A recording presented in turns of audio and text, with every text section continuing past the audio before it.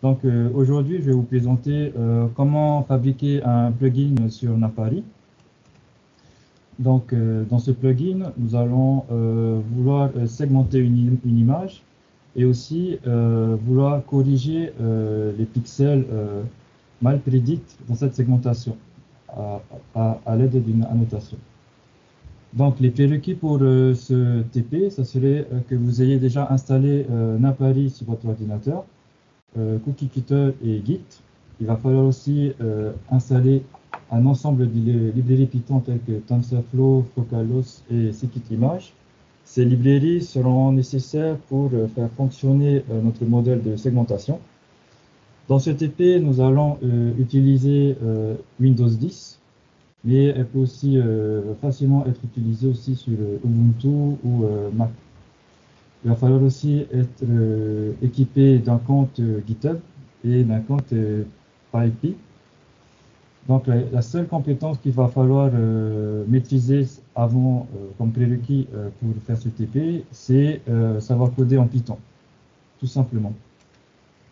Donc, euh, dans ce tutoriel, nous allons tout d'abord, euh, dans un premier temps, euh, générer un projet Napari, c'est-à-dire que nous allons créer un dossier dans lequel toutes les fonctionnalités du plugin vont va s'y trouver. En deuxième, nous allons essayer de créer un répertoire Git où nous allons exporter notre projet à l'intérieur.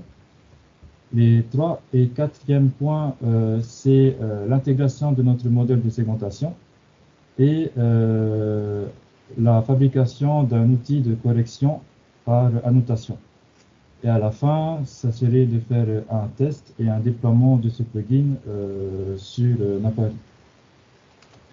Donc, pour fabriquer notre plugin Napari, on peut le faire, on peut commencer tout d'abord par fabriquer le dossier où nous allons stocker tous nos, tous nos outils. Donc il y a deux manières, soit on le fait manuellement ou soit on, utilise euh, l'outil Cookie Cutter. Donc euh, je vous recommande euh, de faire la deuxième méthode par Cookie Cutter puisque en fait il va créer un dossier à la suite des réponses que vous allez répondre à quelques questions qui sont ici. Donc ces questions sont divisées en deux parties. Tout d'abord c'est un ensemble de questions sur euh, le euh, plugin, à quoi il va servir, euh, quel est l'auteur, enfin, ce sont des informations propres à l'utilisateur et au plugin. Un deuxième ensemble de questions, ça serait en fait des caractéristiques techniques, c'est-à-dire est-ce qu'il va falloir intégrer des données ou un widget? Donc, dans notre cas, ça sera seulement de fabriquer un widget qui va permettre de segmenter, d'annoter et d'exporter nos résultats. Donc, euh, on peut commencer par créer notre, euh, euh, notre dossier. Donc, ici, je, copie-colle tout simplement le code qui est ici. Et j'utilise Visual Studio pour fabriquer le, pour programmer et fabriquer le projet. Donc, j'utilise le terminal et je copie-colle tout simplement le code qui vient du diapo. Donc ici, euh, il me demande si je veux la supprimer ou la télécharger, donc euh, je dis oui. Donc ici, je commence par écrire euh, le nom du développeur, donc je mets mon nom et je mets mon mail.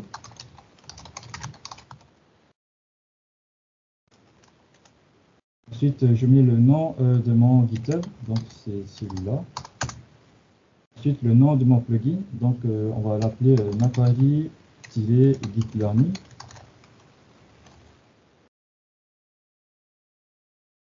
Euh, il demande le lien GitHub où sera stocké euh, notre répertoire. Donc euh, ici, il cible très bien le 1, donc je clique Entrée. Ensuite, le nom du module Napari-GT Learning, donc je clique Entrée encore, donc c'est bon. Est-ce que vous pouvez euh,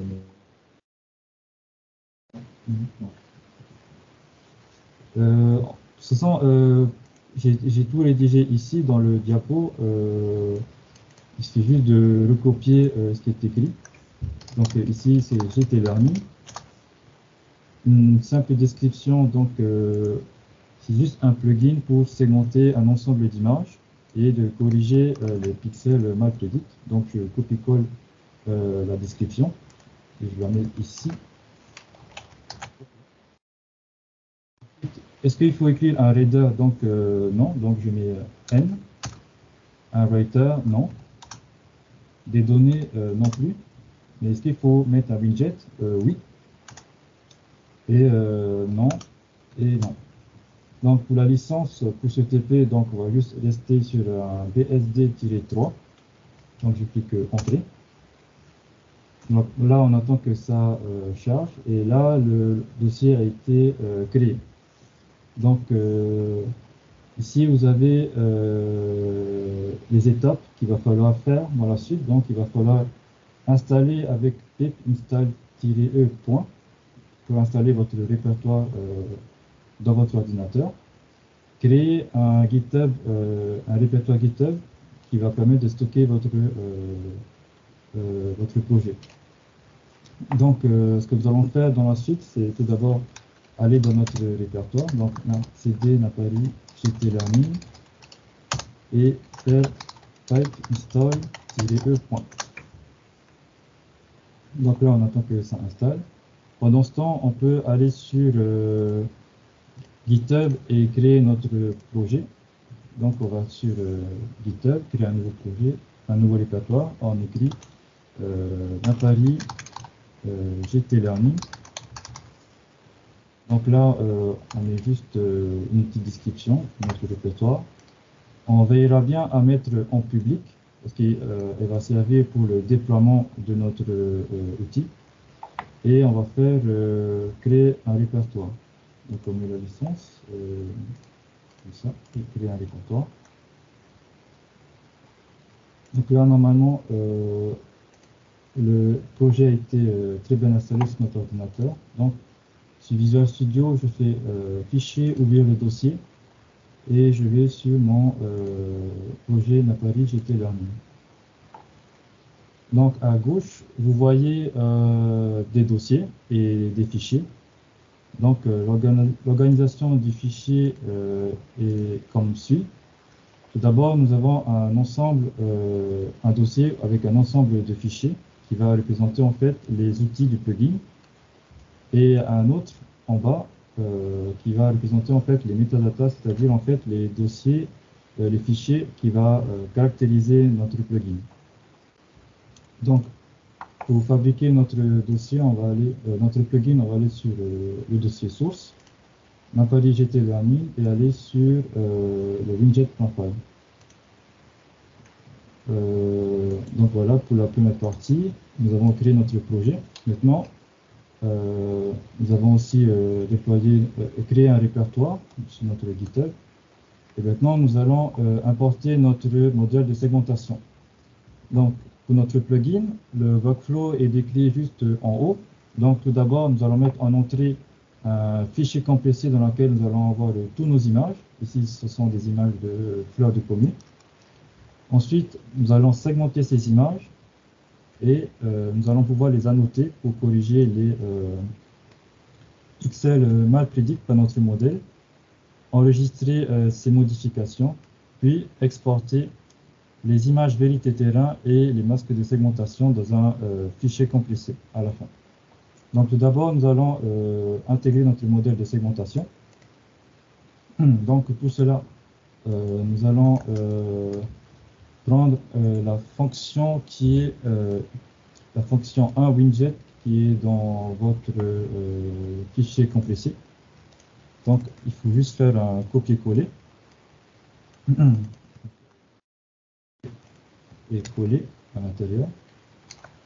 Donc, une petite euh, explication euh, de la, du fonctionnement de cette fonction-là. Euh, donc, dans cette fonction, en premier lieu, tout d'abord, on prend nos fichiers compressés. Ensuite, tous les fichiers à l'intérieur de ce dossier vont être mis dans un fichier temporaire dans votre machine. Ensuite, un modèle de segmentation sera appliqué sur ces images-là obtenir à la fin les masques de segmentation. Ensuite, nous allons ranger ces masques dans des fichiers, c'est-à-dire que nous allons euh, ranger euh, l'image 1 et le masque de l'image 1 dans un dossier. Ne faut pas les mélanger. Donc c'est ce qu'on fait ici en bas. Et à la fin, nous allons créer un, euh, menu pour lequel, en cliquant sur euh, un des, euh, des outils présentés, on nous affiche l'image et son masque de segmentation. Donc, c'est ce qu'on a fait ici, dans cette fonction-là. Maintenant, on peut le tester en lançant le terminal. Et, ah, j'ai oublié un truc, ça serait en fait d'utiliser, euh, de euh, rendre fonctionnelles euh, nos fonctions. C'est-à-dire que nous allons prendre notre fonction ici, qui est en fait la fonction qui permet de faire marcher le workflow que j'ai présenté bien avant, et de le mettre sous un décorateur Magic Factory. Donc, il faut que vous saviez que un plugin Napari est en fait une classe qui va permettre en fait d'afficher une interface à l'utilisateur. Et pour euh, notre TP, nous allons utiliser euh, Magifactory, euh, un décorateur, dans lequel nous allons préciser d'appeler un bouton euh, Load Image et de proposer un chemin d'accès à notre fichier compressé. Donc, sur cette fonction-là, qui est notre fonction principale, nous allons le relier à notre manifeste donc, euh, comme nous avons une seule fonction pour l'instant, nous allons supprimer tout cela et connecter notre fonction ici. Donc, cette première ligne, il s'agit en fait de notre euh, module, euh, de notre fonction, le script et la fonction. Donc ici, nous avons une idée qui, doit être unique pour identifier notre fonction Python. Donc nous allons l'identifier avec ce nom-là et nous allons lui mettre un titre qui sera euh, affiché dans la palette. Donc euh, c'est euh, chargement des images. Donc après avoir défini notre commande, nous allons définir le widget. Donc nous allons connecter notre commande ici à un widget en faisant en identifiant la commande ici par l'idée qui est ici. Donc, je un copier-coller. Donc la commande ici, elle est connectée au widget ici. Et nous allons euh, afficher notre plugin, notre widget par le nom suivant, chargement des images, que nous écrivons euh, sur euh, le display name.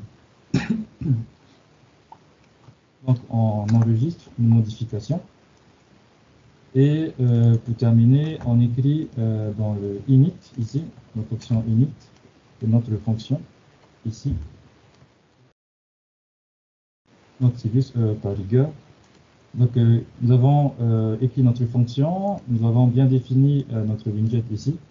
Donc on peut regarder si notre premier plugin, notre premier widget fonctionne. Donc on peut lancer Napari à travers le terminal en lançant Napari dans le terminal. Donc là je viens de lancer le, Napari et il faut attendre que ça charge. Donc là, ça vient de charger.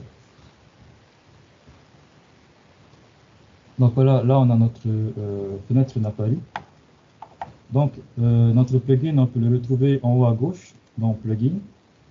Et nous allons ensuite ouvrir notre Napali GT Learning ici, en cliquant dessus. Et il faut attendre que euh, le widget se charge.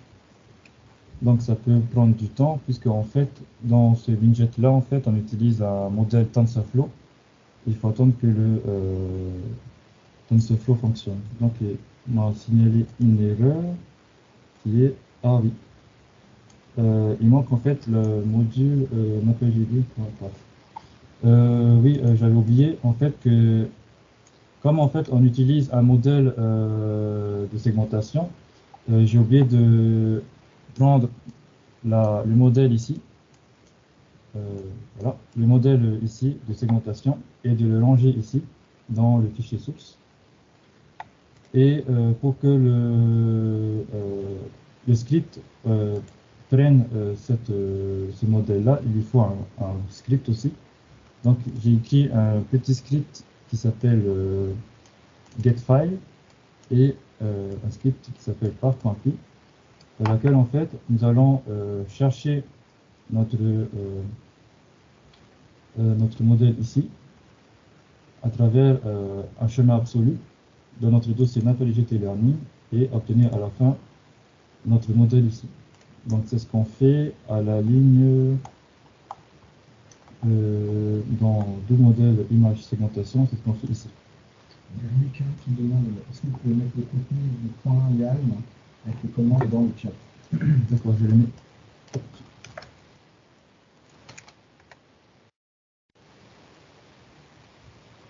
Merci. Donc euh, voilà, euh, pour euh, le premier plugin, il ne faut pas oublier à mettre le modèle de segmentation que vous devez retrouver dans le file for TP et le dossier getFile et le mettre dans le fichier source ici et le modèle ici et le compris ici. Donc nous avons importé notre module, donc normalement ça devait marcher. Donc on ferme notre, notre et on le relance.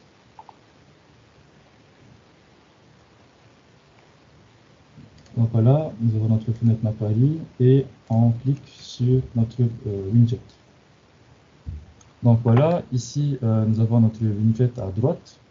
Nous proposons à l'utilisateur euh, d'insérer son fichier ici en cliquant sur Select File et de le loader ici.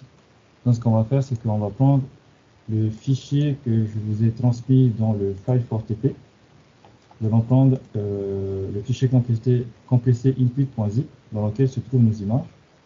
On fait ouvrir, donc ça affiche le chemin absolu et on fait load.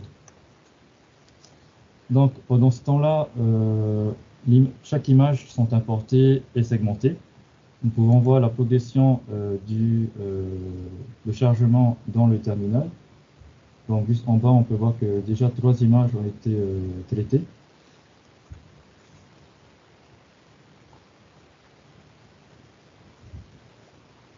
Donc euh, le temps de chargement en fait dépend pas de Napali mais plutôt euh, de votre machine. Donc si vous avez euh, une bonne caractéristique, un bon matériel sur votre ordinateur, donc ça ne devrait pas poser de problème. Donc ici, notre modèle de segmentation a segmenté nos images, comme vous pouvez voir ici, et elle les a affichées. Donc vous pouvez voir ici toutes nos images, ici, ici avec les masques de segmentation euh, en marron. Donc, euh, ici, euh, pour cette première partie, c'est très bien, mais on peut aussi, d'un côté, annoter nos images en prenant un pinceau en haut à gauche, et on paint, et on peut changer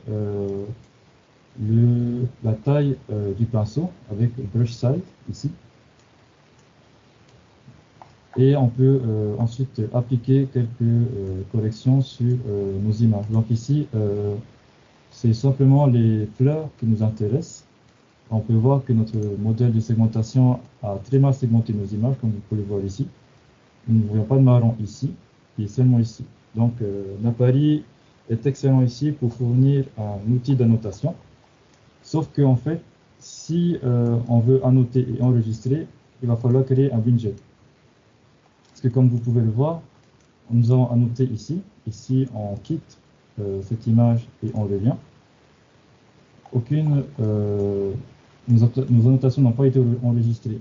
Donc, on va falloir euh, créer un widget pour enregistrer. Donc, nous allons fermer le Napali et créer un nouveau widget.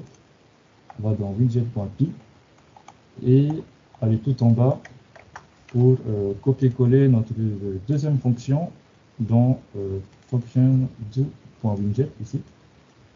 On fait un copier puis un coller ici. Après, comme avec le dernier widget, euh, ça fonctionne de la même manière, sauf que ici, nous allons juste l'afficher à la verticale à, à, droite de notre fenêtre. Donc, euh, comme la précédente fonction, nous allons copier-coller euh, notre widget. Donc, on va sur napari.yml et on crée un ID pour notre commande.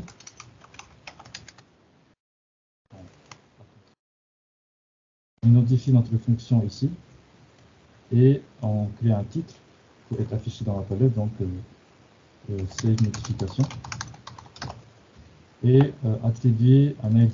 Donc on va mettre save modification.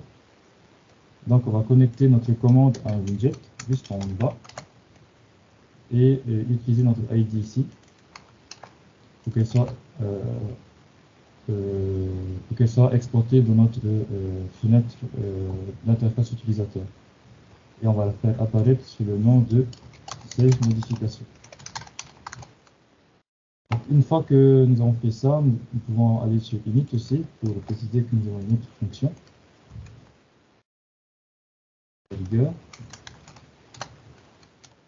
Et voilà. Donc, euh, nous avons intégré notre fonction dans le widget.py, précisé la commande dans YML et préciser la fonction dans init. Donc, ce qu'il faut faire, ce serait de pouvoir interagir. Donc, on on ouvre la fenêtre Napari à partir de notre terminal pour voir euh, si notre widget fonctionne très bien. Donc, ici, vous pouvez voir que notre plugin, nous, chargeons très bien, nous avons notre widget chargement des images et nous avons notre widget euh, Save Modification. Donc, on peut charger nos images ici. On reprend nos, images. Euh, on va dans Bureau. Euh, ici, input.zip, notre fichier d'image, et on le load sur notre fenêtre Napoli. Donc, on attend encore ici que la segmentation d'image se réalise.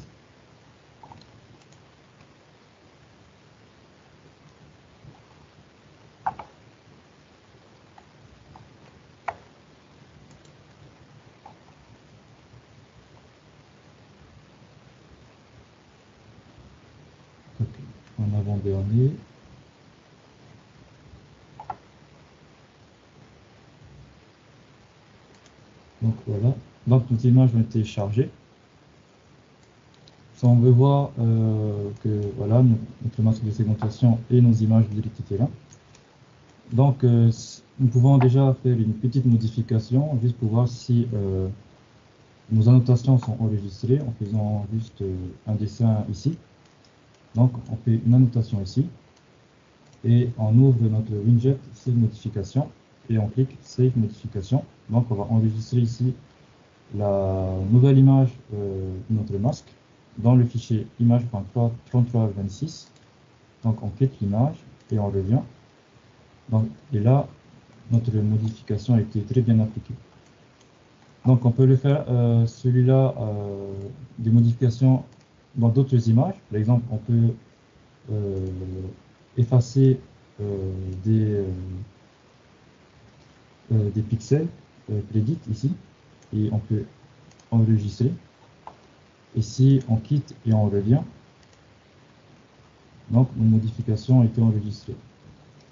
Maintenant, ce qui est bien, c'est que après avoir annoté nos images et euh, enregistré, on veut bien les exporter pour les envoyer à, un collègue, par exemple. Donc, ce qu'on va faire, c'est de créer un dernier widget. C'est ce qui, qui va en fait importer tous nos images ici, que nous avons fait, que nous avons euh, annoté, etc. Et le mettre dans un fichier .zip. Donc ce qu'on va faire, c'est de créer un dernier widget qui est euh, dans la fonction 3 euh, widget ici et le mettre dans le script widget.py. Donc je fais un copier-coller. Comme avec les modifications, je prends la même procédure. Donc on va sur napari.yml. On crée une commande. Je euh, identifie une fonction ici. Euh, je mets un titre qui soit affiché dans la palette. Donc euh, zip. Et j'attribue un identifiant. Donc cette commande-là, je vais essayer de l'identifier en tant que budget. Donc je prends l'idée ici et je le mets là. Et j'enregistre les je l'identifie comme c.zip dans notre euh, Donc dans le unique, pour terminer, euh, je l'identifie ici pour montrer que nous avons créé une, nouvelle fonction dans notre widget. Et une fois que nous avons fait ça, nous pouvons euh, relancer le Napari et, euh, effectuer nos trois euh, widgets, qui est tout d'abord ici charger nos images. Donc on fait select file et on prend notre input.zip qui est euh, ici. On load nos images dans la fenêtre Napali. Donc on attend que, ça, que la segmentation euh, se termine.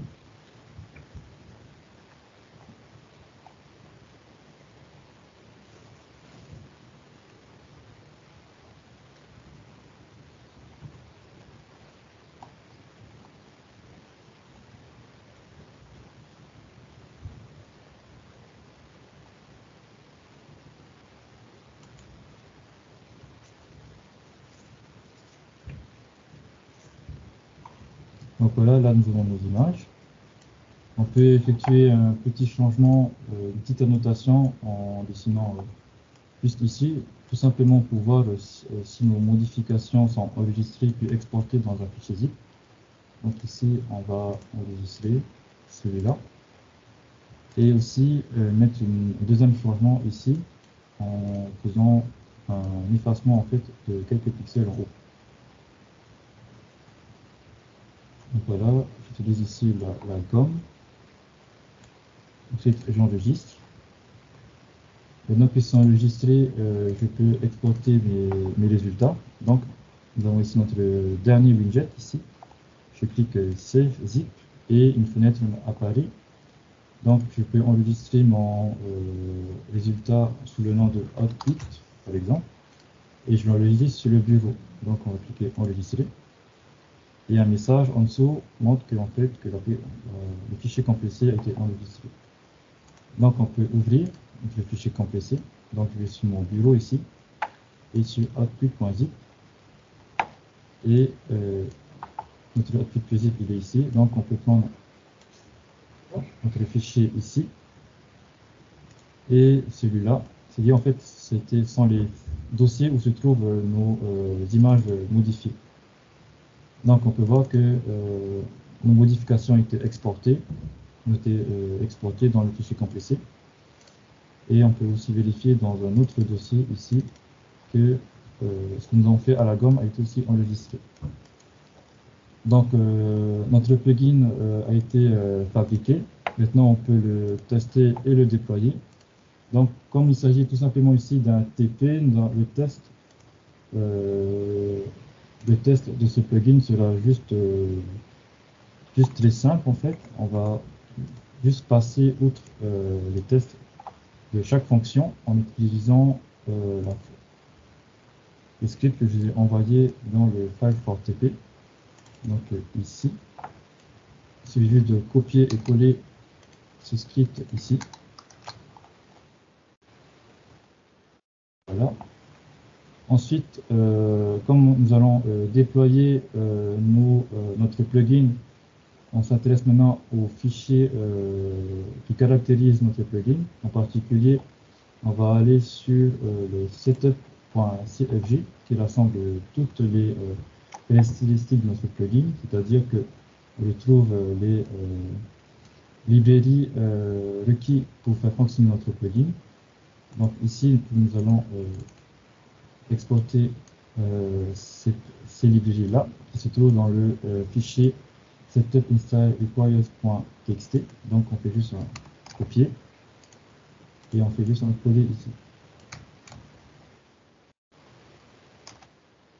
Voilà. Et c'est tout. Donc, euh, vous avez aussi un README où vous pouvez aussi ajouter une présentation et une description de votre plugin. Euh, un project.toml pour euh, le, euh, les caractéristiques plus techniques de votre déploiement. Et euh, c'est tout. Donc, pour le déploiement, nous allons nous intéresser à ce slide-là, à la page 7. Donc, avant de déployer, nous devons avoir un compte py.py donc, il suffit juste d'aller euh, sur le site et de créer un compte. Donc, moi, je l'ai déjà. En premier lieu, nous devons euh, charger un token sur le point .py. Donc, on va sur les paramètres. On descend et ensuite on fait ajouter un API.token. Donc on, ajoute.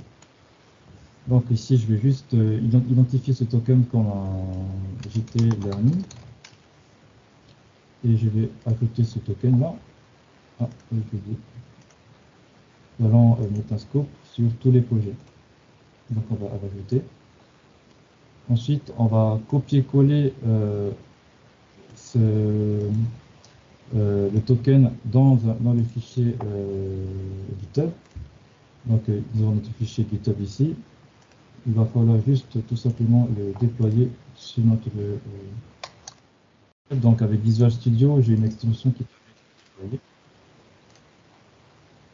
Donc on fait euh,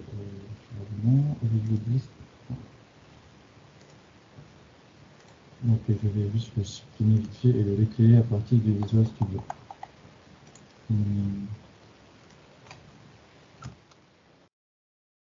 Un déploiement. Donc voilà, maintenant je vais le créer à partir du Visual Studio. Donc on va le mettre en public. Donc là, euh, tous les fichiers sont euh, chargés sur euh, un répertoire GitHub.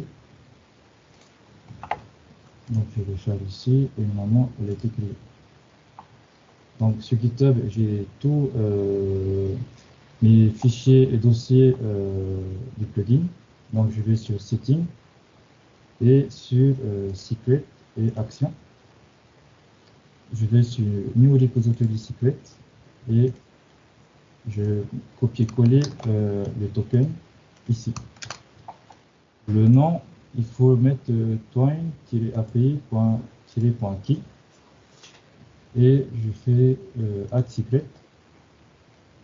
Maintenant, euh, nous avons fait la première partie qui est ici.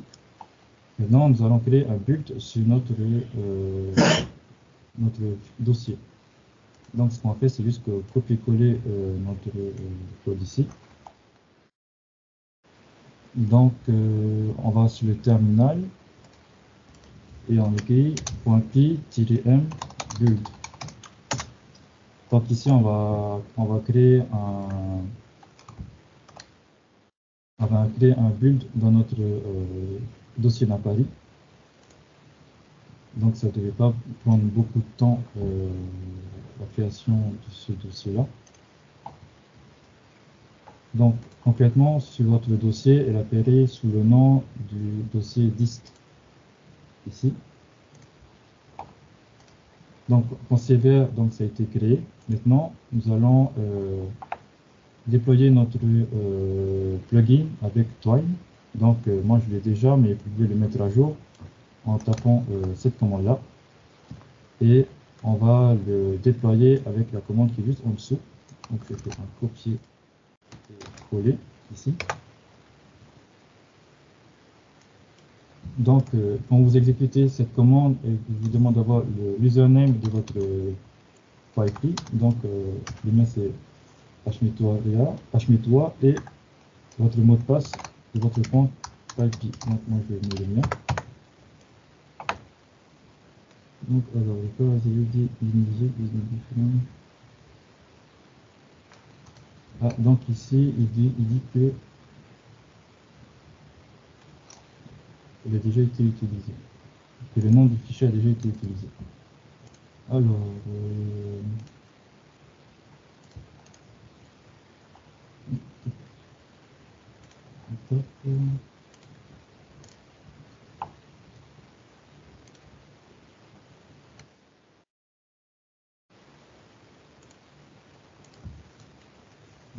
le mettre à jour pour voir si c'est pas un problème de version.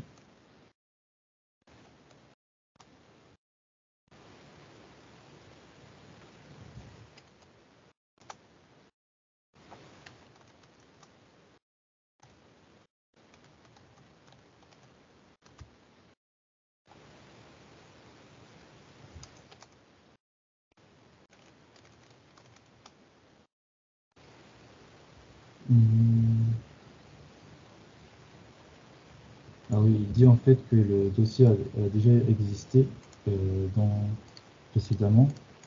Parce qu'en fait, euh, euh, pour un déploiement, en fait, il faut que les plugins aient un nom en fait unique. Donc, il paraît que ici, le nom a déjà été utilisé.